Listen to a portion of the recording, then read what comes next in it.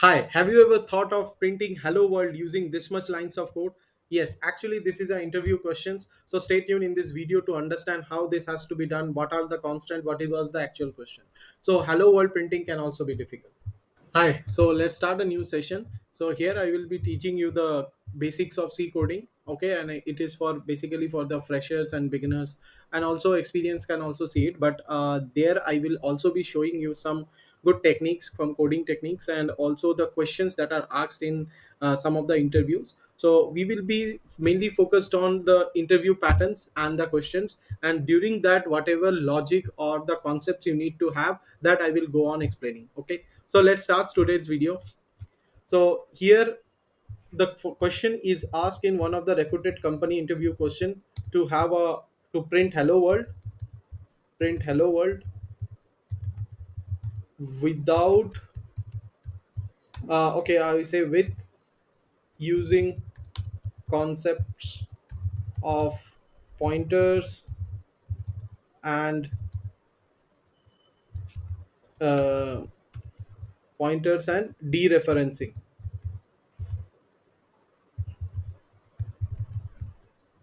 Then pointer increment okay. So the main point is that uh, here what we are doing is we are using uh, so let's start from the beginning. So this is our main task to print hello world uh, and uh, demonstrate the pointer concept dereferencing and pointer increment. Okay. So first thing is uh, if you don't know about pointers just stick to it. I will let you understand what pointer is. So here we are saying that we are including something so what is stdio it is std means standard io means input output.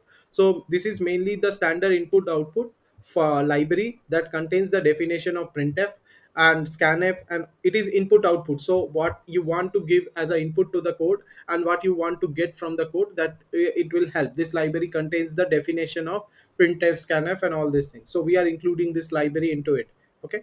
So now the main question was there are two character pointers uh, a uh, with the value as uh, hello and uh, character pointer b with the value of world and finally a character pointer c with the value of error. Okay so the main task is we need to print hello world but we don't want to print the error part so this error shows that it is somewhere in the memory which it can it is not able to access okay? So that is our main concept. So what we will be doing is we don't need this uh, printf now okay? So here so now let's understand first what can be done to print only hello world. So let's say that uh, we want to print hello world but if i say simply as let's say uh, printf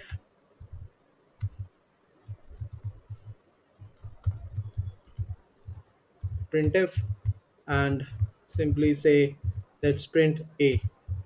So if we print a we can print hello but we cannot print uh, world because we are we can only use a to access each and everything.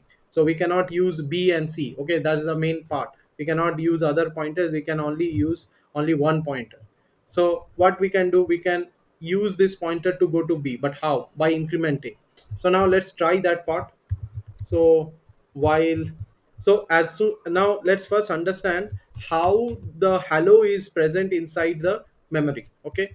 So when you actually see the memory where this hello is stored it will be stored in this way h-e-l-l-o and then there will be a null character. Similarly this one will be w-o-r-l-d and a null character. And the error is error and a null character.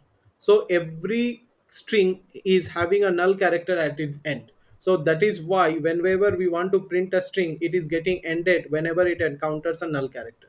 So here when we write a while loop we cannot just check the null character. So what is what we can check is that we want to terminate when we encounter the null character the second time okay? So we can say that we need a counter to count the number of null character. So let's say null count. So initially null count is 0 and when we want to terminate the loop we want to terminate the loop whenever the null counter is equals to 0 so just copy it paste it and we say when the null character is um, equals to 2 we want to terminate. Till it is not equals to 2 we keep on uh, accessing whatever is there. So what we want to do we want to start from hello and we want to go at the end up to d. Okay? So for that the best thing is we can say a plus plus is will be done that a will be incremented every time and so that we can go. So now when a is incremented we also get this null. So there will be a condition when a is equals to null when the value of a is equals equals to the null character. Okay? So when we encounter a null character what we want to do? We want to print a space. Because see what we want to print we want to print hello hello space world world. So here there was a null character. Instead of null character we want to print the space. So here just write printf so we want to print the character. That is sorry. That is space. Okay. Then what we want to do? We want to increment the null counter. So once we have encountered the null so we will increment the null counter. Okay. And in the else part it is simple that whatever uh, we are receiving in whatever is the value of a that we will be printing. So the value of a is uh, like incremented one by one so we will be printing the a. Uh, okay? Uh, whatever is the value in the a. So here we are terminating the print after the second null character. So using the null character we can control till how much we want to print. So let's run it. Okay? It is giving some error uh, why it is not equals to 2 okay. So we want to give we forgot to give this one. So now let's run it. Okay. So now it is printing hello world. Okay. So i hope you understand it. So if i just increase it to 3 okay and run it so you print error also. Now you guys can expect that if i put it 4 then what will happen? If if i want to go beyond that so let's try and see what it comes. So it it terminate because i think after that we have all null characters only. So it doesn't matter. After the first null character it also prints some space and then do it. Okay?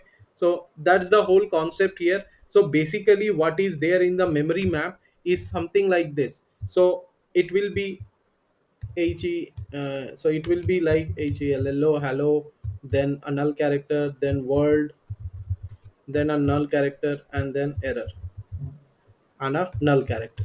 So in C, there is no boundation. The boundary of a string is decided by the null character. So I can access up to from H to R from everything in this character starting from the W H from this initial the first location. So here we clarify the concept of pointers. So pointers are the pointers are the variables that point to a specific memory location. So now this star a is the in this way we are defining a pointer. So a is um, pointing towards the address of h okay? And when we move the address one by one here what we are doing we are incrementing the address of a. Then it is pointing to e then it is pointing to l then again l and o in this way. And here when we want to print what is the value of a then we say star a. Star a means the value at the location a. So that is here we are saying that dereferencing the pointer using star of a. So we clarified the idea of dereferencing pointer increment. And one more thing that in c the arrays are not bounded. So even though we are having a fixed length for hello we assigned it to a but we can go all the way up to error so there is no boundation for the array. So you we only need the starting address so that's all for today. I hope you understand the concept. I will come with the next concept in next video. Thank you